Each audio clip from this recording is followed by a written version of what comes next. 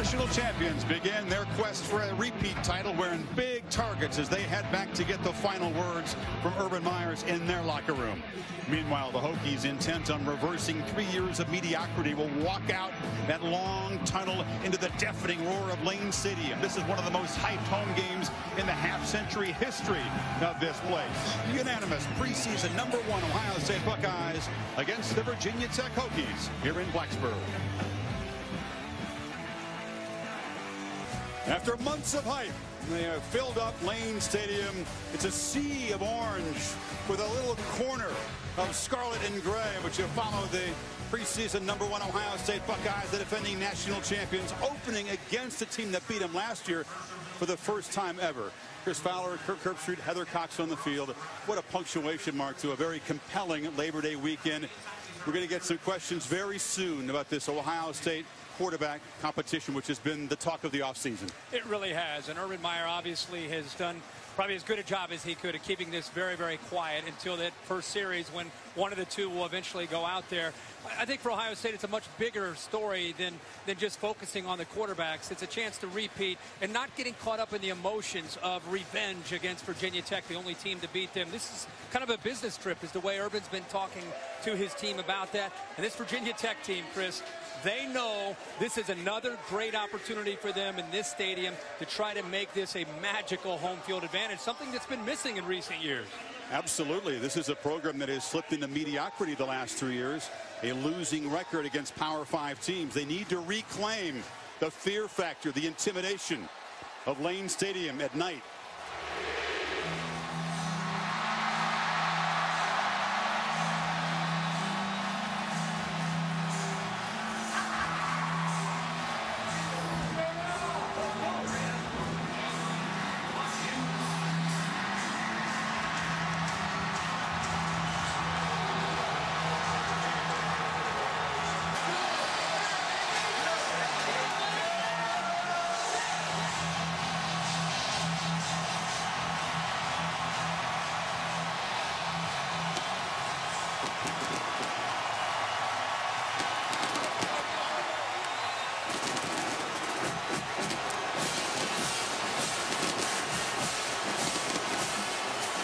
Have played in hostile houses before, but this is Urban Meyer's first trip to Lane Stadium.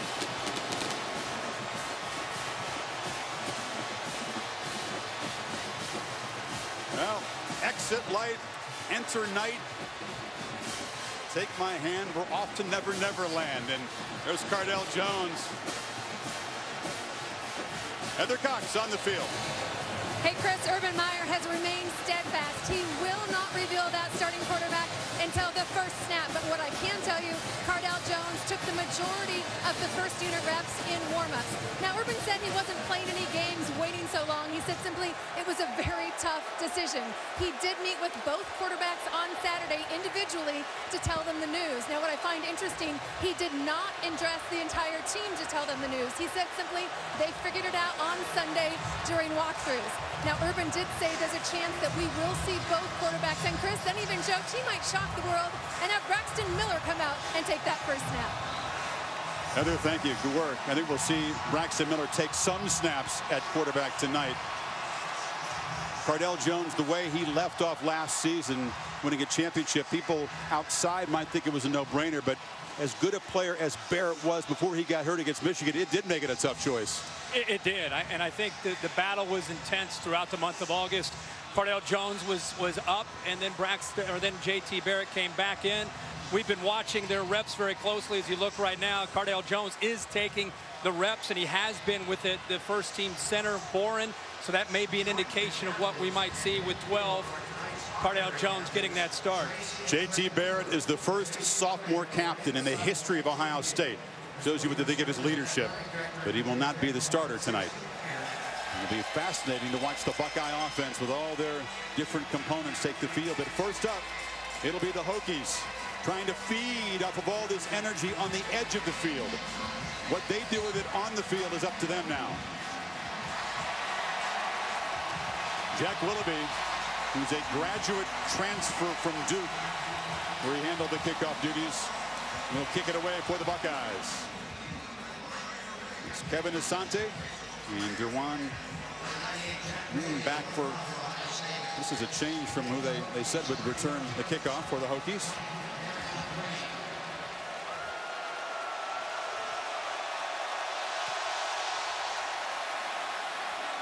Willoughby's boot is high and deep and will not be brought out.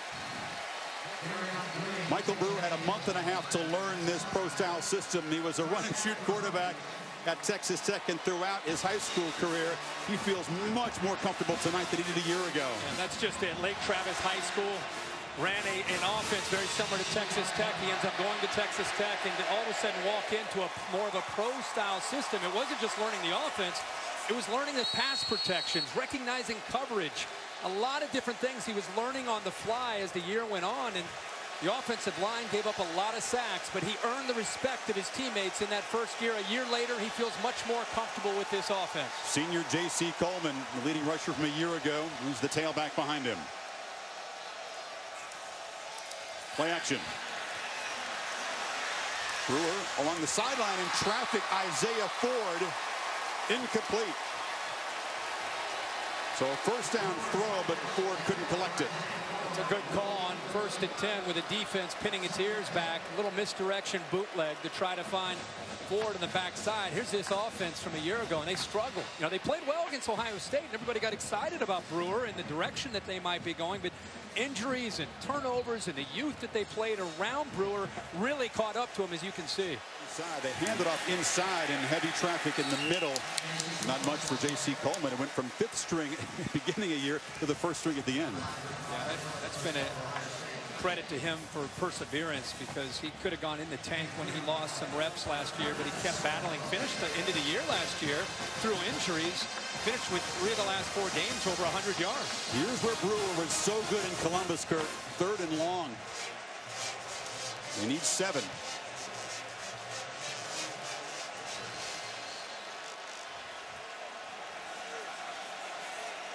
Not nearly as loud for him as it was last year. Pressure. Dodges it for a while, but now is brought down for a short loss. So it's the Buckeyes getting a sack from Darron Lee, the linebacker off the edge, was there in a hurry. Ironically, we're going to be talking about a bear defense a lot tonight, but it's from Virginia Tech. Look what Ohio State does here on third down. They're in their own bear defense, and it's this man right here. One of the best linebackers in the country ends up coming free because all the linemen are occupied on the inside. Zeke Elliott is the punt returner with Jalen Marshall, who was a preseason All-American at that role, one of the four suspended players, and he makes a fair catch at the 36. And here comes Cardale Jones in the first true road game of his career, Kirk. He had three that, huge neutral field wins. Yeah, that's exactly right. Playing in Indianapolis and New Orleans and then the championship in Arlington. 6'5", 250. The arm strength and the fact is, the way the season ended, and I think, is, and he had a good camp, that's why he got the nod over J.T. Barrett. But with his arm strength, Chris, you have to understand. He said, bring on the noise, brother. He's louder. Along with Zeke Elliott, that's what I think Urban Meyer likes. There's that bear defense again. Braxton Miller's in the slot closest to the offensive line. One play, one keeper, and the 250-pounder who just gave all kinds of trouble to Bama and the Ducks defense with runs just like that. In, in Virginia Tech, their defense, the job that they did a year ago, they gave a young offensive line at the time, four new offensive linemen, this very look where they covered them up tough job of adjusting within that game. This is a different offensive line and a different offense they're facing a year later. Braxton Miller just motioned into the backfield. An option look. Jones keeps it and will be hit behind the line. They were all over Braxton Miller. Couldn't pitch it to him. And now a scuffle. Temper is already flaring. Urban Meyer says his guys don't view it as personal, but you wonder. The numbers that we talked about a little bit earlier against Virginia Tech. Seven sacks. The rough, uh, rough outing for Ohio State, and now Cardale Jones on third down here. That was the decisive stat last year. The Buckeyes at home were 4 of 16 on third down. In the pocket, a slant and a catch. And that's Michael Thomas, who scored on a slant last year against the Hokies. Well, this is a great matchup with an All-American corner, maybe the best corner, number 11, Kendall Fuller, against one of the best receivers. He gets inside of Fuller. That was the key on a slant. Fuller gave away the inside, which allowed it to allow the quarterback that time, Jones, to stay in rhythm with the tall, lanky Michael Thomas at 6'3". Great throw there on third down, but a good route by Thomas to work inside against Fuller. This will be a great matchup all night. Two first-round prospects.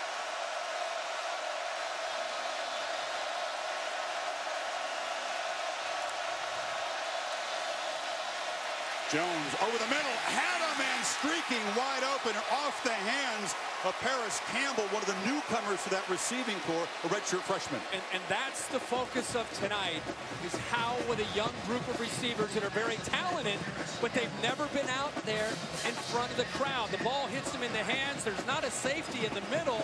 This is a touchdown if Campbell holds on. There's the pressure. They go low on the bigger Jones. They get pressure, but the ball was thrown right on the money by Cardale Jones, just dropped by Parris Campbell. Otua Polaka is the man who pressured and hit Jones just after the throw on second and 10. Pressure again. Big fella escapes. Stiff arm. He's very hard to tackle high. That was the defensive end, Dadi Nicolas, who brought him down. Chris, that's what you miss without a J.T. Barrett.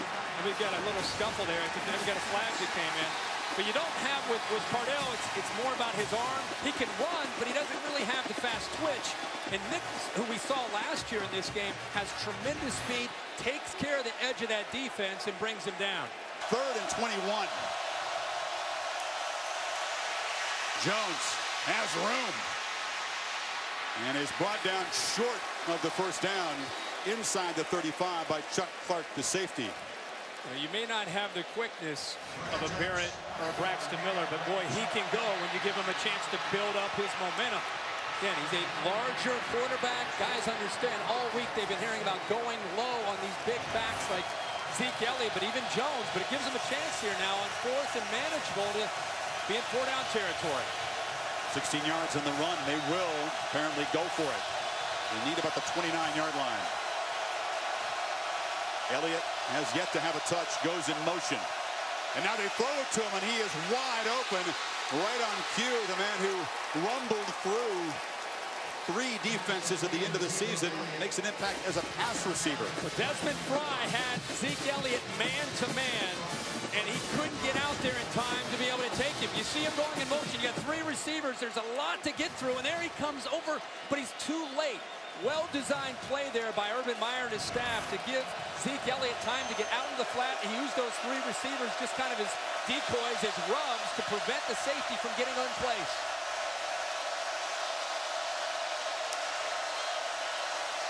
Jones on first down, pressured again. Throws it deep in the end zone. One-on-one -on -one battle, diving catch. Touchdown. Curtis Samuel was interfered with, but still made the grab be an interesting call because it kind of went both ways. And I don't know if Curtis Samuel may have pushed off himself. Defense number three. That penalty will be declined. The result of the play is a touchdown. Samuel was a running back shifted to H-back to make impact plays like this. Yeah, they're, they're both kind of working against each other. Cardale Jones, a great job of keeping the play alive. That's Greg Stroman, the nickel. And yeah, definitely, right call. Stroman wrapped up around Samuel, and that gives you an idea of what Urban Meyer's been talking about with Curtis Samuel. Jack Willoughby makes it 7-0 as the Buckeyes score in their first possession of 2015 season after a penalty put him at third and 21. They convert anyway, and Curtis Samuel with a terrific catch.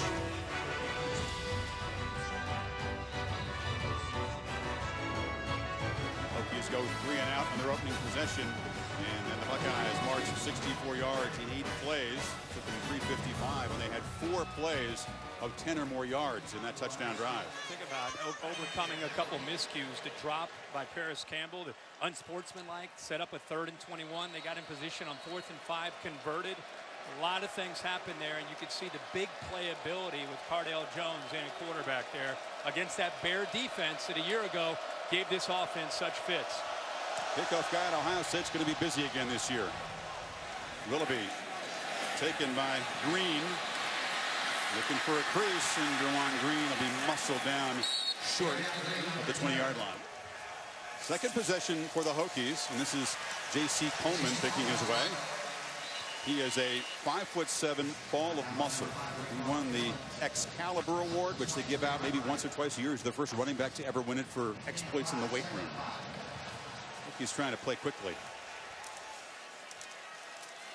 Coleman again wrestles for. You can see the strength. The dude squats 465. It'll be third and short. Yeah, with a 38 and a half inch vertical. I mean, he is nothing but fast twitch.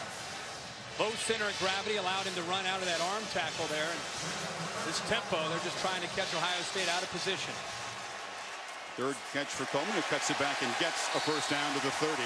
Darron Lee knocked him now, down. when you don't have a dual threat guy, and Brewer is not that guy, you put a lot of pressure on your receivers and your tight ends to win one-on-one. -on -one. Ohio State plays a press quarters coverage, which means they're going to walk up their defensive backs and play man-to-man -man against your wide receivers and your tight ends.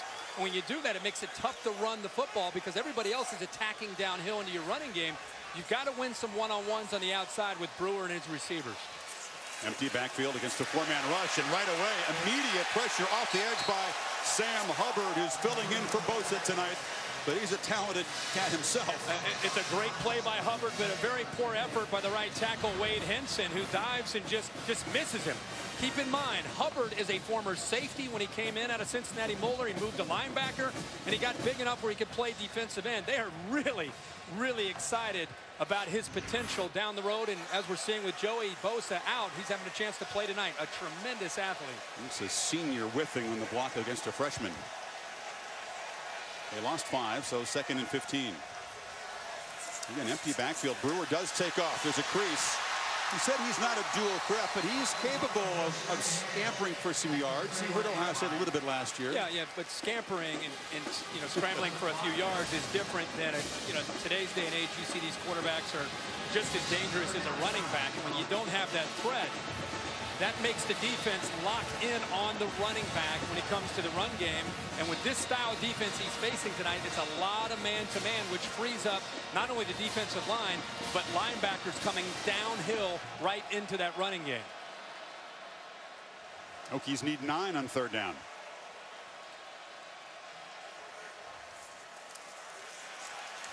Brewer delivers far side, broken up by Eli Apple.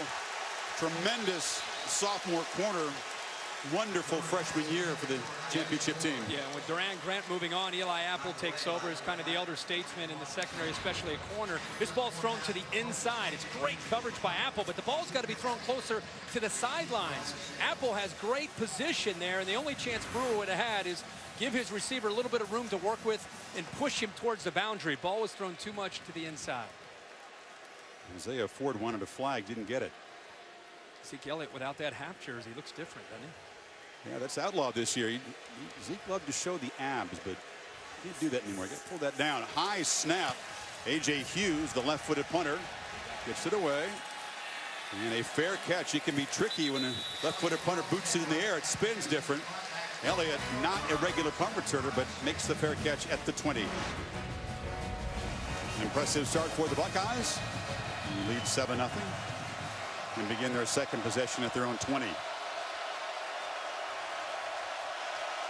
Eight plays. There were four runs and four passes called by Ed Warinner, who takes over as play caller. With Tom Herman moving on to Houston as the head coach. Interesting three receivers there into the boundary.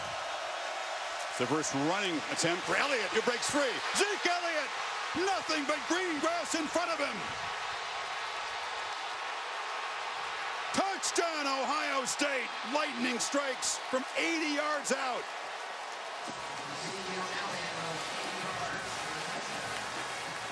When you play this kind of defense, it's it's a high risk, high reward defense.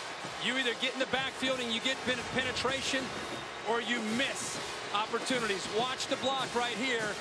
By Pat Elflein, the right guard, who kind of opens it up. He gets two guys. That is a huge hole. Remember, you're committing so many people, that first wave of defenders, defensive linemen and linebackers, that you're either going to get a three-yard loss, or if he breaks one arm tackle, he's going to do that and go 80 yards. Dadi Nicolas is the man that Elflein blocked, and he's a great athlete, but he's given up 75 pounds to the guard in that matchup. Yeah. This Ohio State team and what we've seen here early is the confidence that was created late in the year has carried over into the offseason. And whatever Urban Meyer said to challenge them, you know, you talk about complacency and how's a team that's a defending champ going to be the following year. Whatever has been said, this team has come in with a laser focus and we've just started this football game. They've not they're not resting on their laurels. They have the same swagger and the same confidence that they finished with Wisconsin and Alabama and Oregon. They brought in here tonight to Lane Stadium. And the Hokies, who never trailed in last year's win at Ohio State, find themselves down 14, and the crowd has largely been taken out of this until Tech can do something positive. We said Willoughby is going to be busy this year. But this is not one of his finest. Out of bounds, so the Hokies will have a little bit of breathing room. He's looked right at Hodges, but he was well covered, so he flips it over the middle and making the catch is the tight end, Ryan Malleck, who was the leading receiver last year against the Buckeyes when he caught six. Clock running down inside of five in the first quarter, but it's all Buckeyes after 15 minutes. Beginning of the second quarter, dominated by Ohio State. Total yards 205 to 56. 80 yards and a Zeke Elliott touchdown run. Jones to Curtis Samuel. Touchdown pass on the first possession of the game. And now Michael Brewer and the Hokies after converting on third down desperately need to create something. Get the crowd back in it. Give the defense a rest. There's a change at quarterback now. Brenden Motley, the junior from Christiansburg, Virginia, is in there. It's a low snap. He's going to pick his way and actually finds a little crease and barrels forward. It'll be third and three. At 6'3", 221 pounds, see Motley with some natural instincts to run with that football. And I just talked about when you take the threat away from a dual threat quarterback, puts a lot of pressure on your passing game against this kind of defense. And you've got to be able to throw the ball to be able to open up the running game. Well, Motley can give you a little bit of something in that backfield to make the defense have to be aware of his ability to run. It's tough to come in on first and 20 in your first possession, though. He hands off to McMillian, who cuts back. Travon McMillian diving near midfield. He almost broke it. And again, his first college football action almost made a huge play. A couple, a couple great blocks. Ryan Malleck, the tight end, 88 to your left, and watch 45, Sam Rogers. He gets two of them right there. And then downfield, that is tremendous effort there. We've heard all about Sam Rogers having a great camp, the leader of this team. He really opened that up for McMillian to be able to pick up those extra yards for the first down. And Joshua Perry, the linebacker, grabbed an ankle to perhaps prevent a touchdown.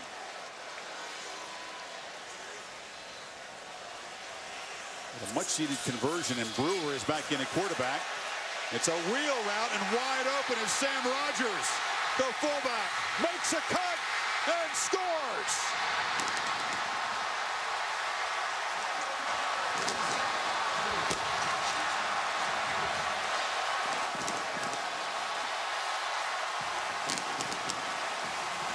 And now Lane Stadium is alive again, 51 yards.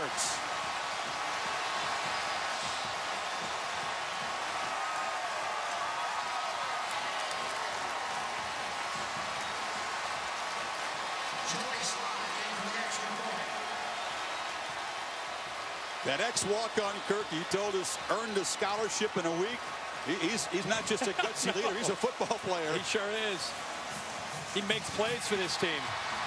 Slye slides the extra point in. A much-needed 74-yard, six-play touchdown drive as the Hokies cut the lead in half. Sam Rogers didn't catch him but one touchdown pass last year. That was against the Buckeyes. Both career touchdowns against Ohio State. Lane Stadium awakened by that touchdown drive, and as they kick off, there are three Edmunds brothers. Number 14 is Trey, number 22 is Terrell, 49 is Tremaine, he's the true freshman, sons of Ferrell Edmunds Jr., the Pro Bowl tight end. This may never happen before, Kirk. I've never seen that. seen two brothers, but how about that, three? They don't get a chance to make a tackle because Slye boots it deep, but we'll, we'll see them on all the kickoffs tonight. And the touchdown brings back the crowd noise, trying to make life tough on the Buckeyes. Jones handed it off to Elliott and tried to make a block. Tailback didn't need much help. Got about 11. We talked about Rogers. He's covering kickoffs. He's blocking people. With a shimmy. How about a little little shoulder shake there by the big Uh-oh. fella? Eli Apple's had some highlights in his career. That will not be any fun in the- in the film room. No, it will not. And Braxton Miller in the ball game in the shotgun. High snap, Miller, hesitation. Makes a cut, but just runs into heavy traffic. So two carries, short gains for Miller.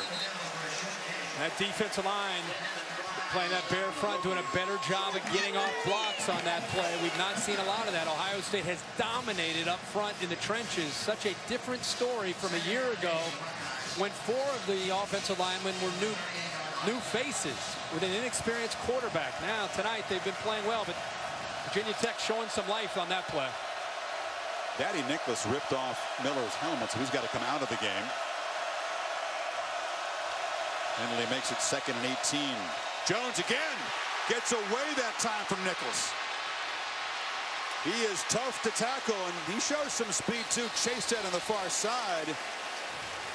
You got to tackle differently against the big guy. And, and Dadi Nicolas is a defensive lineman. He's 6'3", 227 pounds. And Cardale Jones is much bigger at 250 pounds. There's the athletic ability. He's third straight play. He gets in there. He goes right by Pat Elflein. But Bud Foster, the defensive coordinator from Virginia Tech, challenged his team the entire week, the entire camp.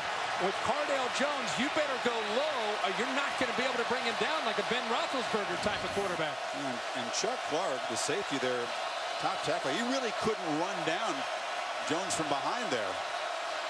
Third and four. Jones deflected, diving attempt, intercepted.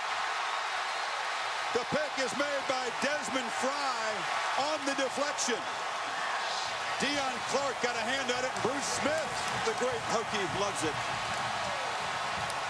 Well, Dion Clark, number 40, gets his hand on the football.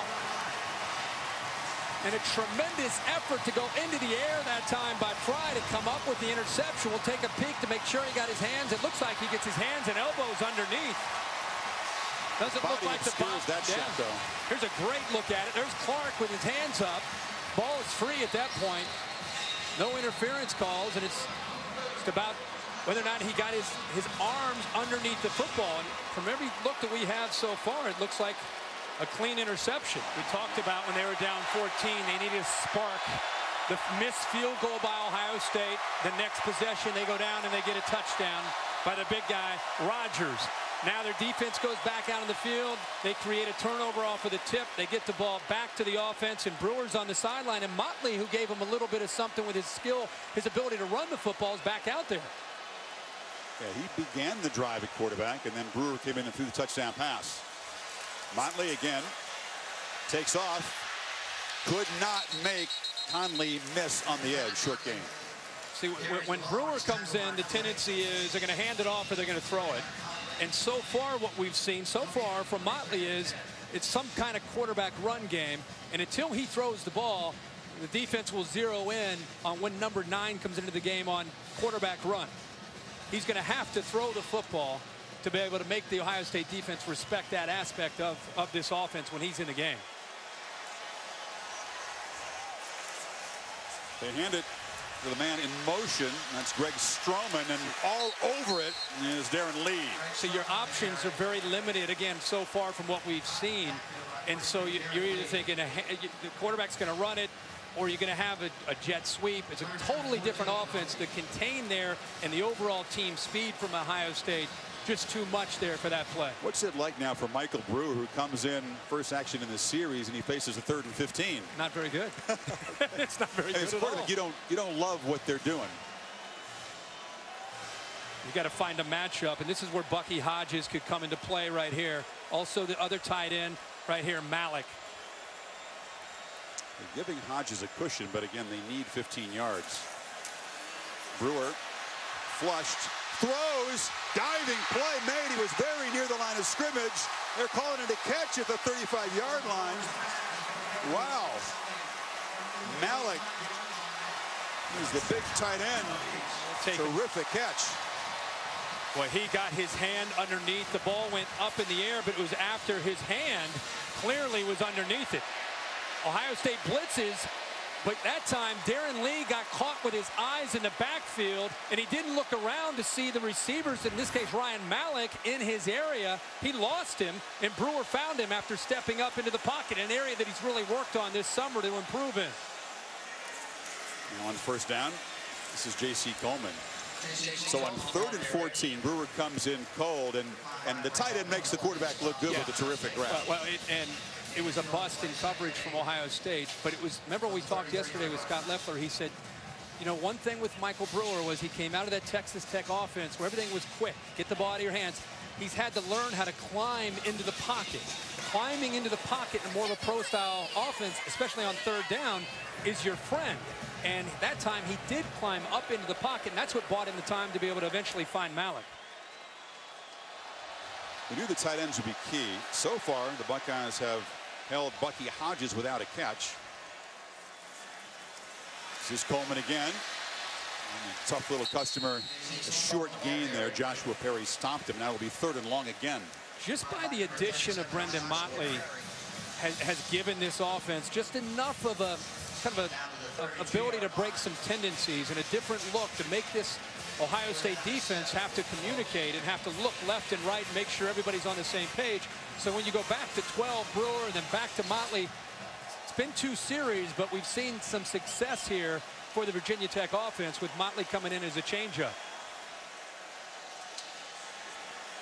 Hokies make a play on third and eight. Buckeyes showing pressure. They bring it. Brewer gets it out quickly, delivers far side.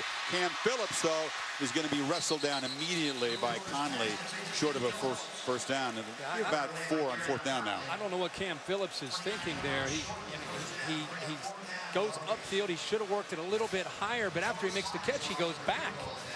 Conley's there, and then you've got four or five other white jerseys. So instead of being about a yard short, because of what he decided to do with the ball after he caught it, now they're about four or five yards short. So Joey Slye missed from 50, but had the distance before. Tries this one from 46. Makes the correction and bangs it through.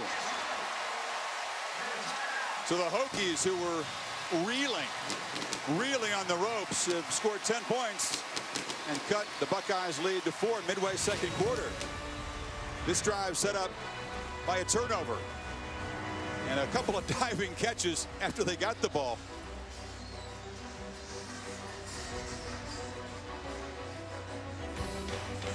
Brad Paisley is a West Virginia fan. You saw the combo jersey he was wearing as he rocked Blacksburg a free concert last night. He did play some rock and roll. He played what Satisfaction with the Stones. He played Enter Sandman for the crowd here. He knows his crowd. He told me he was practicing it more than playing it. I'm sure He's he did off again, and again, no action for the Edmunds brothers. Another touchback. Need eight on third down. Jones takes off. No hesitation. Cardale Jones rumbles for a first down and much more to the 45. So design run all the way. Now they, they felt pretty good about the quarterback run game coming in. And look how this play opens up on the left side. Nice pull by Pat Elflein. A block there by Zeke Elliott. The receivers downfield. And next thing you know, number 12 is lumbering down for the big gain and a first down. You love how Elliott, besides being a star with the ball in his hands, is it embraces blocking. Remember how Tom Herman last year said his greatest gift as a player was how physical he is without the football. That's about as good a compliment as you can give a star running back. Only has two carries so far, one of them for 80 yards, and now a third, and Elliott danced for positive yardage. Heather? You guys were talking Bud Foster, some adjustments I overheard. He was saying that the D-line must adjust against the speed option, widen out the space between the guard and tackle split. Then he said the Bear defense must be able to adjust right or left, especially against the tight end, and that safety needs to know where the help is coming from at all times. A couple things to keep our eye on, guys. Gonna break it, Heather. Down. Heather, break it down, down, down there. Come on now, Red. Good job. Good Heather grab a grease board down there. Love that. Safety support coming in, leverage the football. You got to make plays. It's a good chess match, though. Terrific point. And, and second down, they need five. Jones, pressured, hit. Big fella gets it away anyway. Tried to get it to Samuel in traffic. And Ekanem, their leading sacker a year ago, was there. He just kind of bounced off Cardale. He, he Ekanem, though, watch how he works to the top of the screen. Just goes around with quickness, Billy Price. That's one way to, to take away the effectiveness of Cardale Jones or any quarterback. If you can get pressure, he hit that fifth step, he's ready to throw, and he's got a defensive lineman right in his face. Another third down. Ohio State three of six so far tonight. Empty backfield. Samuel in motion in the flat, and the ball was knocked away. Once again, Dion Clark, who created the carom, which led to the pick, knocked that pass down. Fourth down. This has been a bread and butter play for Urban Meyer in this first half, where they get the running back out into the flat, and you can see the defender running with him at the top. There's a long way for Stroman to get there, and if Clark doesn't get up and knock that down, that's another first down on the exact same play to the running back out of the backfield. They're just throwing it to him out in the flat. The prime minister of defense, is that how Bud Foster was introduced to us? so loyal, came across Beamer as a player at Murray State. He's been with him basically from the start here at Virginia Tech. Kendall Fuller makes the fair catch. And the Hokies defense rising up. They get the football back down only four. First down for the Hokies, 3.13 before halftime.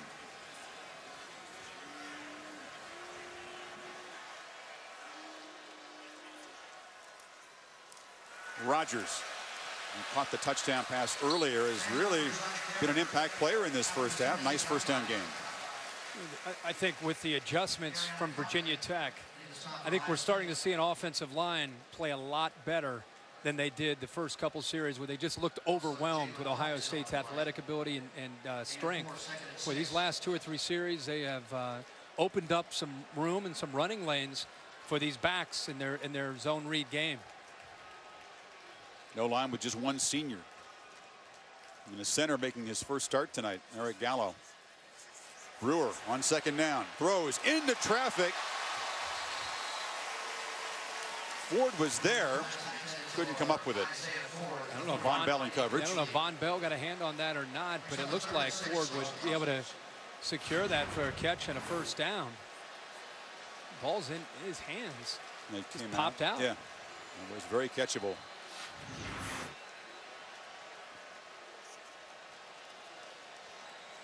Hokies receivers have been very sure-handed tonight, though. Some excellent grabs.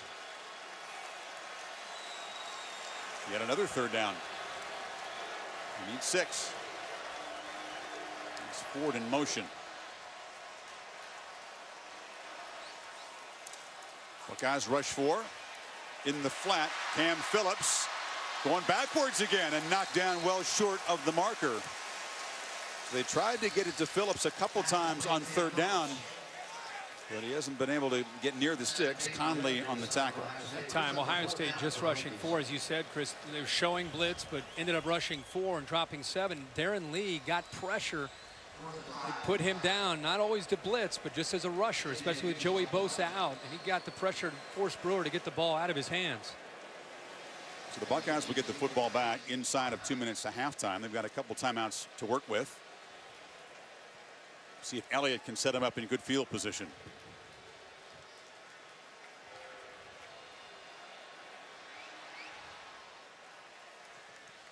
The lefty Hughes boots it away. Low kick fumbled by Elliott. Still loose on the sidelines.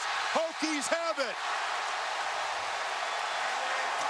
So Elliott filling in for Jalen Marshall suspended as punt returner makes a mistake and Tech is set up to perhaps take the lead. Wow. Second turnover for Ohio State. And when you try to knock off the number one ranked team, you're going to get a few opportunities.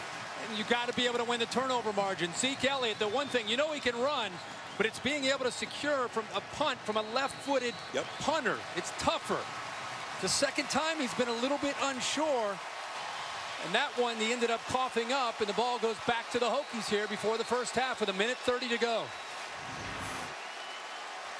So a couple of mistakes after Ohio State had jumped out to a 14-0 lead. Like Anthony Shegog ended up getting on top of that. Outside linebacker on special teams.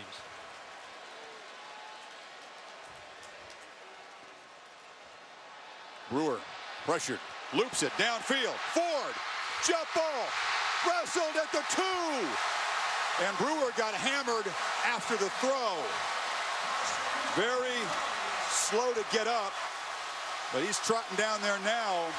Washington and Lewis converge on the tough quarterback. Remember how tough this guy is. He got beat up on Ohio State and a lot of other teams. Two defenders get to him. Vonn Bell lost in coverage in man-to-man -man coverage against Isaiah Ford. His eyes maybe looking into the backfield. Ford got behind him. And Bell fortunate the ball didn't end up going into the end zone for a touchdown. Ford's a guy who added 15 pounds, got a lot stronger this year. He looks a lot different than he did last year as a freshman. First and goal.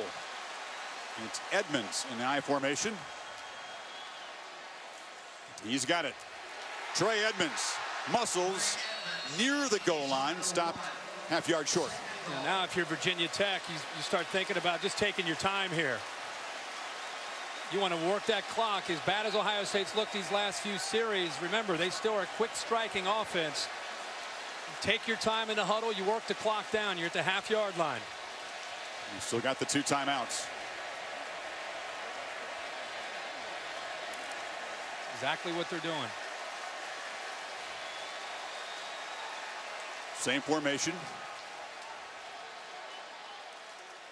Edmunds again.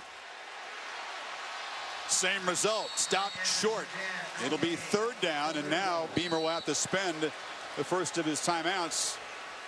One left now, 21 seconds. Raekwon McMillan hammered him. Uh, that is a heck of an effort when the football is on the half yard line. Raekwon McMillan cleans it up, but it's the defensive line on the right side for Ohio State getting low. They end up pulling the guard. It looks like he's going to have a, a walk into the end zone. Tommy Schutt just throws his left shoulder, left arm up into the air. I think he slowed him down a bit, but it was the linebackers that eventually cleaned it up and kept him short. It's Edmunds offset now. Brewer look to throw. Lobs it back to a wide open tight end, Ryan Malleck.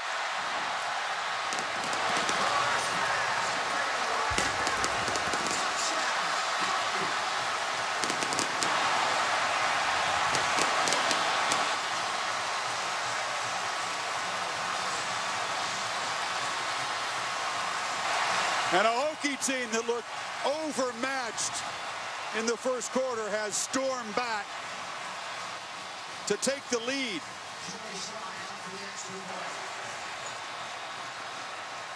What a call there by Scott Loeffler.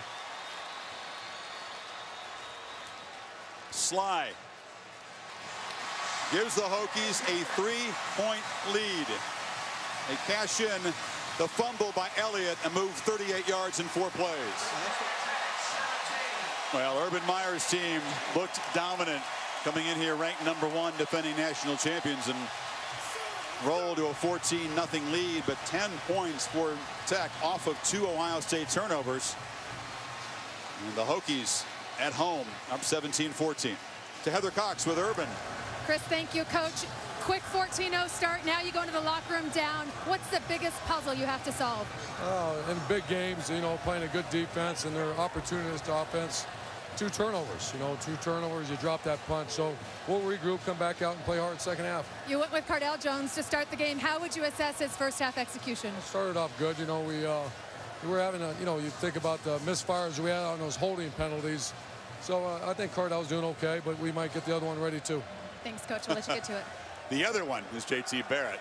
Jones, 6 of 13 with a touchdown and an interception. He's also carried it eight times. So Brewer and the Hokies trying to beat a number one team for the first time in program history. Up 17-14 at the break.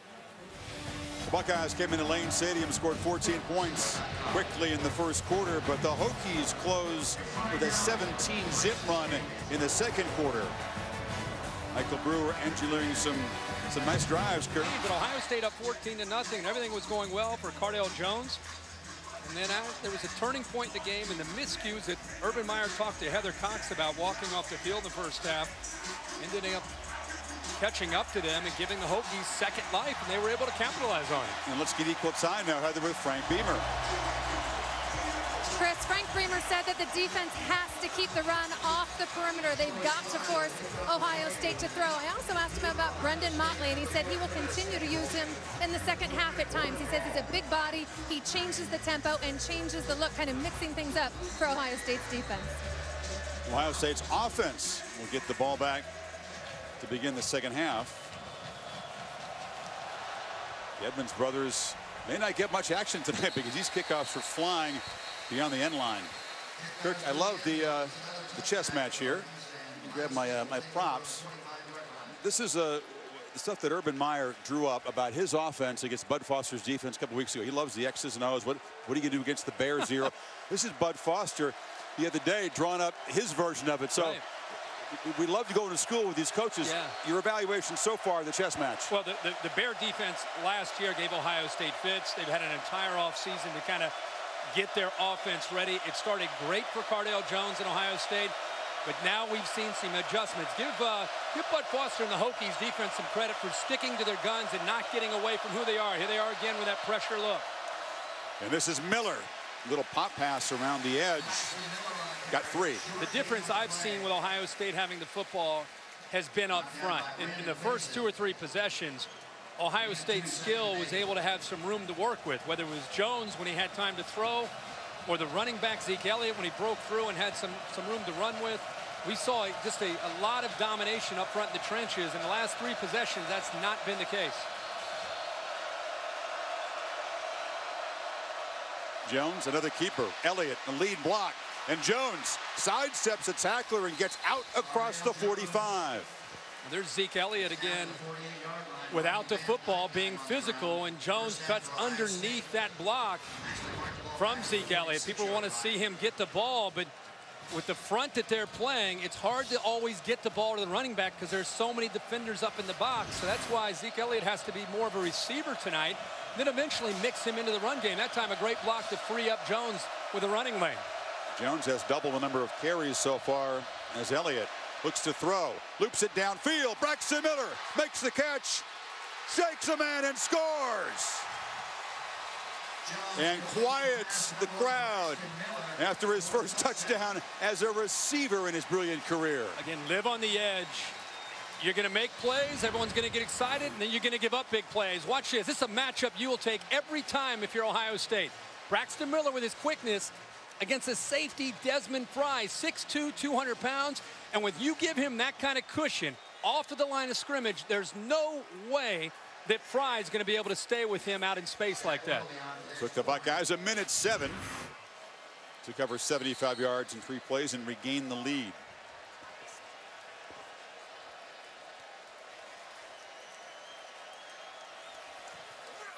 And Willoughby Makes it 21-17.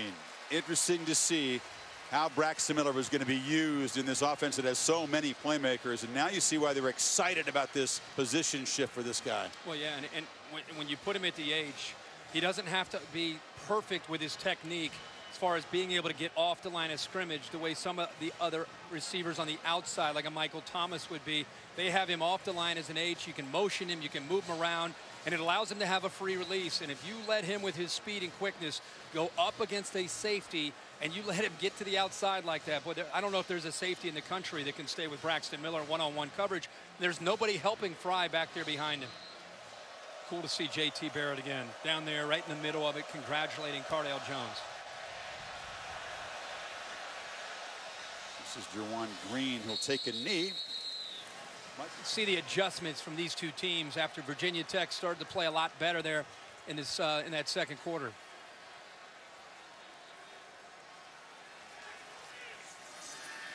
Brewer has time in the pocket, delivers to Malleck, who caught the tight end touchdown earlier. Yeah, it's a it's a good call here on on first and ten. The reason it's a good call is they had some success in the first half with Malleck right over the middle in between those two linebackers, and they're very confident with that play and gives them short yardage here. And Edmunds converts as the Hokies are using some tempo tonight. The, the tempo from Virginia Tech would be different from the, some of the other tempos that you see when you watch college football. They're, they're not going to make a living tempo, tempo, tempo the way Baylor might do that. But with the reason they're going tempo is anything they can do to try to wear down the Ohio State defense or create some miscommunication or take away their aggressiveness, try to get them on their heels is what they're trying to do.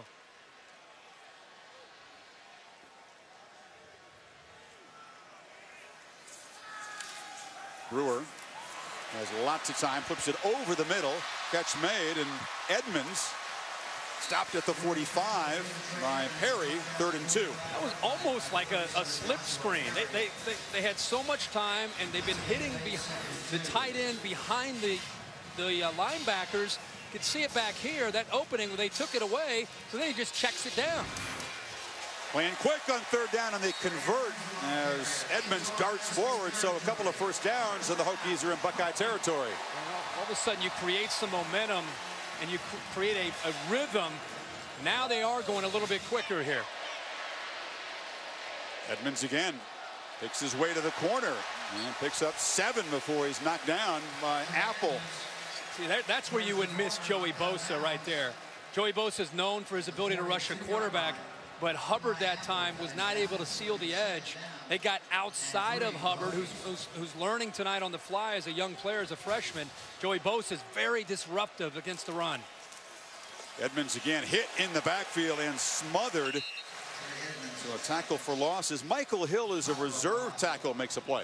And they said he had a great camp. The sophomore out of South Carolina said they got his weight down.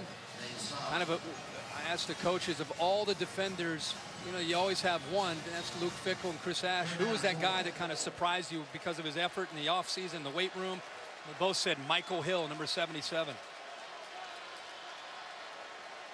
J.C. Coleman back in the game on third and four. Brewer steps up, takes a hit, delivers over the head Malleck. The blitz came and knocked him down, and he is holding his left shoulder. Adolphus Washington hit him, and I don't care how tough you are. Washington at 300 pounds can deliver a blow. Well, they brought the pressure from Perry up the middle, but it gets picked up. But they don't are, are not able to sustain the block there on the one of the better defensive linemen on this Ohio State team.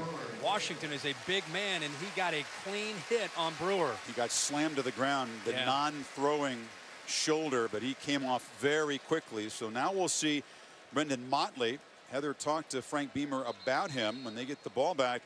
This may be his game.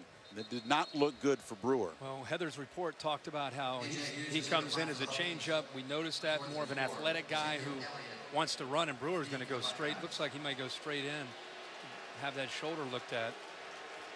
But Motley, not really the passer. And Beamer with Motley elects not to go for it on fourth and four from the 43. So Hughes drops the tip. Elliott this time just clears out, lets it bounce. A flag is down. And the Hokies will down it at the five. There are three markers on the field. Welcome back to Virginia Tech, where you just saw their quarterback, Michael Brewer, head to the locker room where he is being evaluated by head athletic trainer Mike Goforth. The news on him, Chris, he will not return due to a left collarbone injury. Look for Brenden Motley in his place. Heather, thank you. Very tough news for the Hokie fans. As the Buckeyes take over, backed up at the two and feed Elliott straight ahead. Boy, Kirk, it has been a tough opening weekend for injuries that are in serious variety. Really stars all over the place. Taysom Hill and BYU's Hail Mary win out for the season. Tarean Folston is a key loss for Notre Dame running back. James Conner, a Pitt, very good. Scooby Wright you think, what, four to five weeks maybe, one of the best defensive players in the country. Yeah, now you add to the list Michael Brewer from Virginia Tech. They built their entire offseason around his, his abilities.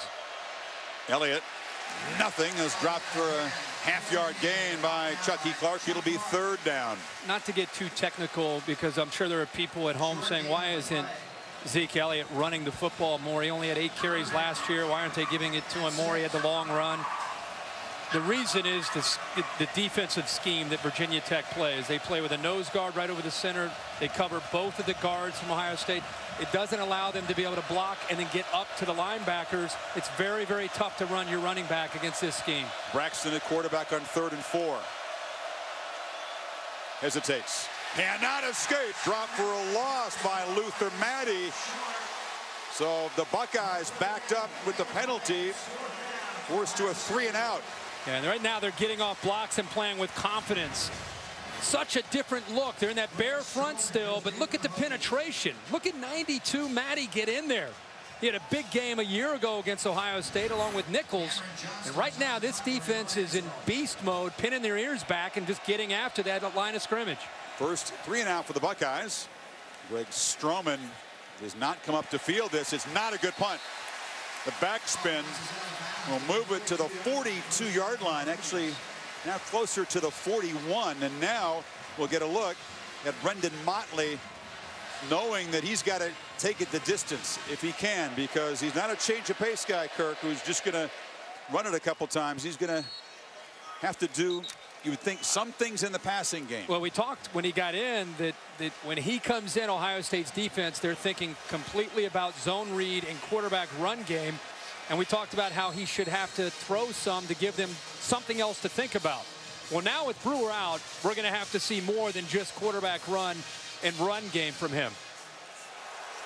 Mishandled snap, and McMillian muscles forward. Ball comes out. Apple picks it up for Ohio State.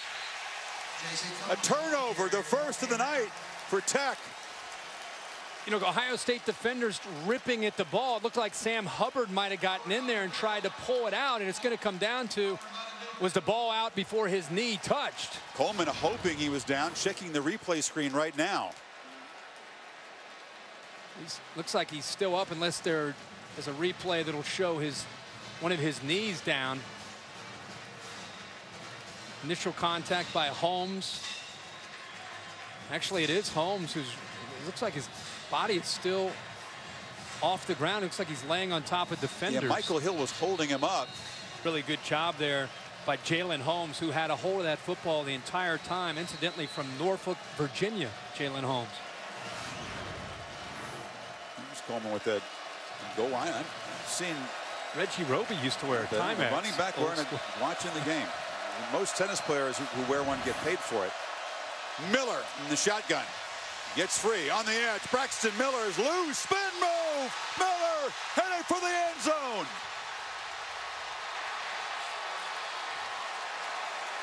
You think he's made an impact in his first game at H-back? Wow. Again, I think people forgot how explosive Braxton Miller is with the football in his hands. When you get him out on the edge and you give him a little bit of room, this is what he can do to not just Virginia Tech, but anybody Ohio State plays. Watch his spin move. I think in the Madden, that might be the B button. That's a nice spin move there. Nobody put a finger on him with that spin move, but a great block by Parris Campbell downfield that gave him the room to get the yards and eventually build up that speed. So Miller has had a pair of 50-yard touchdowns caught one earlier, then shifts back to his old position at quarterback and runs for a 50-yard touchdown. What did you and I talk about on the way over to the game today? We said with all the talk of Cardale Jones and J.T. Barrett, I have a feeling... I'll give you credit. You said did, number one tonight. With the ball in his hands, yeah. whether it was receiving or just getting out on the edge. I, I, I just... Two years ago, he was, at times, one of the uh, that was two years ago. He was one of the more explosive players that, as a quarterback. You knew when he would have a chance to get out and play receiver, he'd be doing pretty. some of this. He's beautiful. It's a 360. I mean, and he's only going to get better with the more reps that he gets out on the edge. But Urban Meyer, give him and Ed Warinner and that offensive staff credit for coming up with ways. They eased him in early in this game, and the more and more he's kind of settled in, the more they've given him a chance to make plays.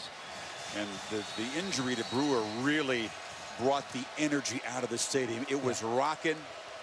Even after the Buckeyes had taken the lead, Tech was marching, and the injury to their quarterback has brought everybody down. McMillian hammered hard just across the 15. Final minute of the quarter.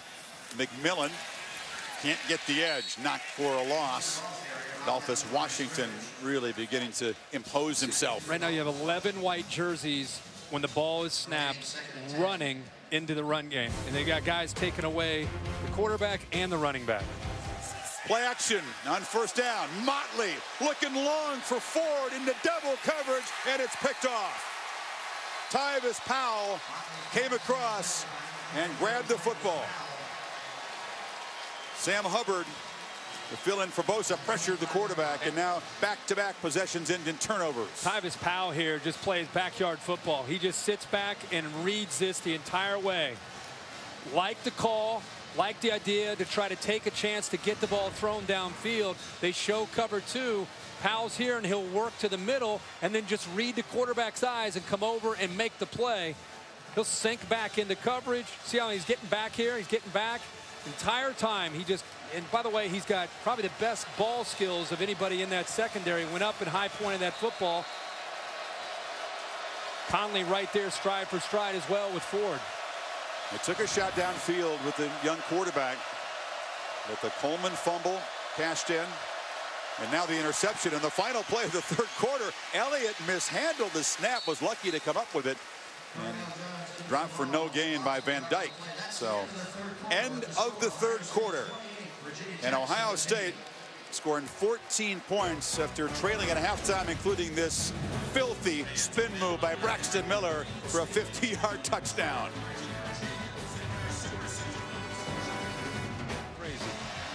I think all Ohio State fans enjoy not just the impact on the game, but the renaissance, the return of Braxton Miller, who was such a soldier for three years in this program and had to sit out the championship year a year ago as this man, Jones, start, And at the last second, he flips the ball downfield. Johnny Dixon is wide open. He's finally corralled as Dixon his first career catch. How about this by Jones? You could see that Johnny Dixon broke away but this is arm strength and recognition. I thought he might give up on the play and just end up trying to pick up two or three yards on the scramble. He breaks contain, he gets outside. Look at the top of your screen right there. You could see the defender gave up on it and came in on Riley, who had the big pick six last year against Ohio State. But a jump pass and gets the ball about 30 yards downfield to Johnny Dixon. Dixon, one of those receivers making his debut tonight, trying to make an impact in this coaching staff. Third down. Hokies bring pressure late. Jones hit, and a flag comes in as the ball sailed over the head of Thomas. Flag is in the secondary. There's two of them. Jones pass intended for Braxton Miller. Incomplete. Flag is down. It's going to be against Virginia Tech. Another interference call. Pass interference. Defense number 22. 15-yard penalty. First down. And second this drive. And Foster's defense really backed up now. The favorite route of Thomas is get to the inside and pulled on his jersey there. Crowd reacting after the interference.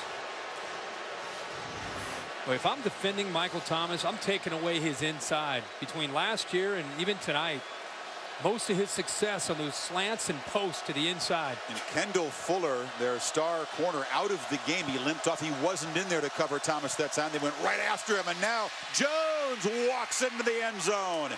And the Buckeyes are pulling away.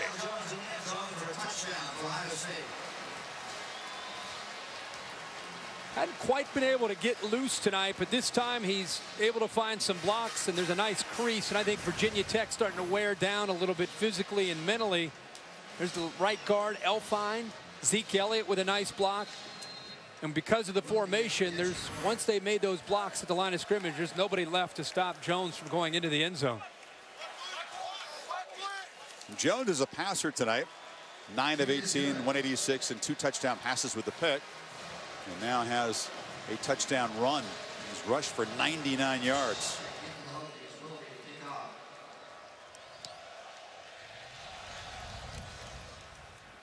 McMillian at the two. Gets a crease. And it was the kicker who got down there and ran into him. Jack Willoughby got in the way of the returner to help prevent a huge return. Heather? Chris, I had a chance to actually just talk to quarterback Michael Brewer. He did share with me that x-rays revealed that that left collarbone is broken. Now, the tentative plan right now is to have surgery tomorrow to repair it. Doctors told him it's about a four to five week recovery period. And then he joked with me in good spirits. He said, Urban Meyer dodged a bullet tonight. well, we certainly hope the surgery goes well. Four to five weeks means he could potentially return mid-season for Virginia Tech's sake, after the way their seasons have gone these last two or three years, you, you just hope he's back as quickly as possible. In the meantime, it's going to be the Motley show. Darron Lee hammered Rogers, the fullback.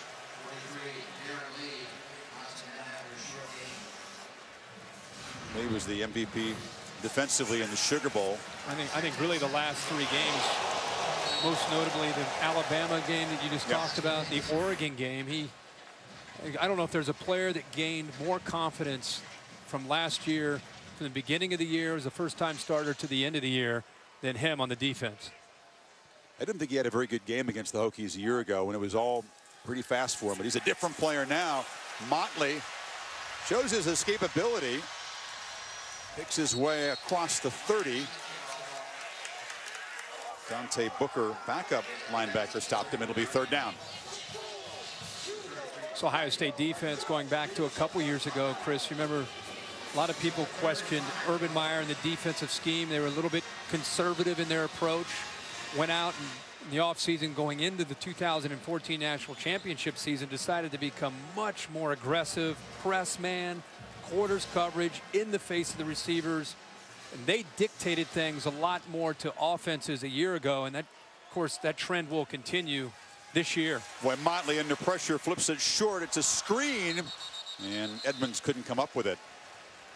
Well, they emphasized tackling some new mm -hmm. techniques before last year ended up being perhaps the best tackling team in the country, and it continues to be an emphasis. How would you rate their performance tonight in that department? I, I think they've been good, but at the same time, I think they, they've done enough for Luke Fickell to be able to get their attention. You know, they, they, they've played well, but they've given up some plays. So I think if you're a highly ranked team, it's, it's nice to be able to win a game. But if you're a coach secretly, you win the game. And if you have some things we can go back to the film room and say, you know, hey, guys, it's a great win. But look, we've, we've got a long way to go if you think we're going to become a dominant defense. Hughes wants it down there. Elliott lets it bounce out of bounds.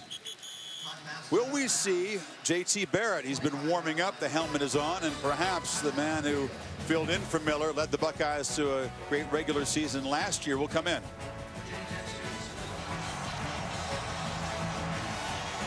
Now the electricity about three hours ago. But then, the Hokies couldn't really build one. I got down 14, scored 17 in a row, but it's been all Ohio State after halftime. Hand off to Elliott. And it is J.T. Barrett who set a Big Ten record last year. Miller, of course, you recall, was hurt in practice before the opener. Struggled a lot against the Hokies, but went on to create a Big Ten record 45 total touchdowns. For Jones, looks like his night is through. Named the starter, and you wonder if the complexion changes at all, if they could potentially use Barrett, not just in Mappa, still has a role on this team. Absolutely. Leadership role that is heavily valued by Meyer. And there's a role as a ball carrier. Barrett looking for the corner. Makes a huge play. And see, Cardale Jones can run the football, but, but that's probably more of a 10-yard gain or 15-yard gain. And when you put 16 in there with J.T. Barrett, you've, you've, got a little bit more quickness. See, the entire game, we've seen these outside linebackers, Deon Clark and and Van Dyke, they've been kind of baiting and trying to play a cat and mouse game, and it's been pretty effective against Jones. Here, you got a guy that's attacking downhill, running option football, and he goes down and picks up huge yards. It's a 40-yard run, yet another explosive play for this Ohio State offense. Barrett looks to throw, and wide open for a touchdown is Michael Thomas. Ohio State pouring it on. You know, Michael Thomas had a lot of energy about him leading into this week, not just the start of the season, but the matchup against Kendall Fuller. If LeBron's still watching this, you're going to get another tweet. Watch this move by Thomas. Little shake and Oh, go. And that's, the, that's one of the top corners in the country. He went right by him. That's not just you're just kind of giving a guy a little bit. This is a great little stop and go. And you and he made Fuller hesitate enough where he, he just buckled him and he went right by him. Kendall will hear about that one from his big brothers in the NFL.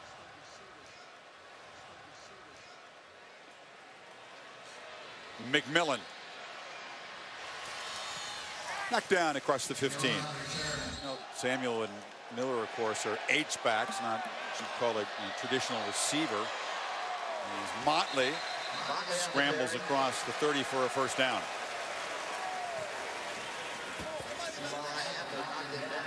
This receiving group without three players that will not only contribute but are guys that will be added in right away when they get ready for Hawaii. I mean, Jalen Marshall, one of the more talented guys that they have on the offense. Dontre Wilson, Corey Smith. Like we said earlier, you add those three to what you're seeing tonight. Doesn't really feel like there's a shortage of athletes on the Oh, field no. tonight for Ohio State on offense. No. Play action. Motley steps up, delivers a throw on the sideline, but it's too wide for Isaiah Ford. Incomplete. This is Chris Durkin, big 6'4", 219 freshman, redshirted last year. So he is at least familiar with the the scheme and what they do. But that'll be that'll be for Frank Beamer and Scott Loeffler and and the offensive staff. That, but that is as significant a loss as you could see Yeah. with a, a weekend full of injuries. Well, it's a typical situation in college football. It's what made Ohio State's journey to a national title last year all the more remarkable to end up the year with a third quarterback playing superbly in the last three games.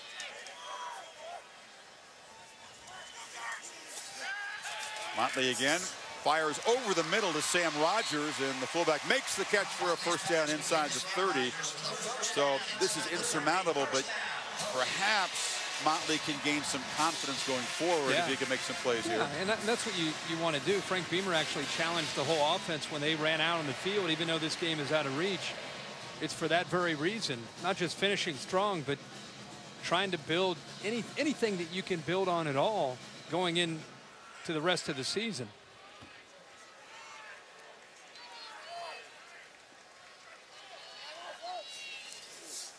McMillian. Hammered down. Damon Webb, the backup corner, was there. I think Urban Meyer will be happy about, along with Luke Fickell, Chris Ash, is to be able to build a lead in week one gives you a chance to get game snaps for that next unit. And that may not seem like that big a deal, but any any kind of game reps you can receive just helps you that next time you go out there and maybe it's in a they're through an injury, maybe you're asked to play in the first or second quarter in a meaning meaningful snaps. McMillian again. And Ohio State, which opened with a road game, a true road game for the first time since 98. Typically, they'll open up against Navy or a MAC team. A very tough opener in a hostile house, but this team with a mature attitude that told Meyer, don't worry about revenge and payback as motives. We're, we're self-motivated and obviously extremely talented. 10 of the top 150 draft prospects, according to Todd McShay, 10 on this team. And one notable guy wasn't even here tonight in Bosa. McMillian, they'll move the chains again, first down at the 18. And first down, feed Edmunds short game. Incredible to think that Virginia Tech had a 17 to 14 halftime lead in this game. Outscored 28 to nothing. And Ohio State just pulling away, and it was the big plays. It was Braxton Miller. Yeah, sure was. Averaging over 10 yards a play tonight against a Bud Foster defense, which is not an easy thing to do. Think back to where they were a year ago. Worst offensive game by far at home against Virginia Tech. That scheme caused fits for them and what they tried to do. Motley escapes. lofts it into traffic in the end zone for a touchdown.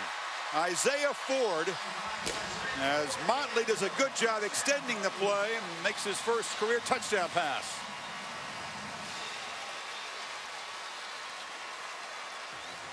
Again, you love to see the fight. You love to see Motley here show what he can do. Good effort to get outside of, of Chris Worley and break contain. And once he gets outside of there, now he's just buying time and trying to wait for one of his receivers to break free. And the Ohio State, the backup secondary, you see their eyes looking in the backfield, watching him and losing the receiver who was able to work to an open area behind them. So perhaps something to build on for a Virginia Tech team that's going to have to make do without Michael Brewer in the coming weeks. No real shakeup as the Hokies go for a little trickery on the onside kick, but the bounce comes up right into the hands of Ohio State. They make the recovery inside the last two minutes, and that's Joshua Perry, the starting linebacker, the veteran on the hands team. Here's your guy, Kirk. He's everywhere. Found his way to the got Blue a- Ridge Mountains. he's got a, uh, his own bobblehead. Bobblehead. He's, he's got a brand. the talk about he or JT Barrett, how's it going to go? All that now is behind not just him, but also JT Barrett. Now he can just focus on he's the quarterback. He's the guy they're going to go with for now and just continue to be the leader that he can be, the best leader he can be for the team. And ball in the game and he spins for a gain, and that'll add to their offensive total before that snap of 567 yards. And I think the other thing you'll see is as the season goes on, you'll get back to seeing when the receivers all come back, JT, or, or uh, your pardon, Zeke Elliott, a much, much bigger part of the offense to complement the vertical passing game of Cardale Jones. I think you'll see that grow as the year goes on. So the Hokies went to Columbus and spoiled the Buckeyes home opener a year ago. Ohio State rolls into Blacksburg. Didn't want to call it payback or revenge. Just call it an emphatic statement. 42-24 for Meyer's number one ranked team. SportsCenter coming up next from the studio with Scott Van Pelt. So long for now from Blacksburg.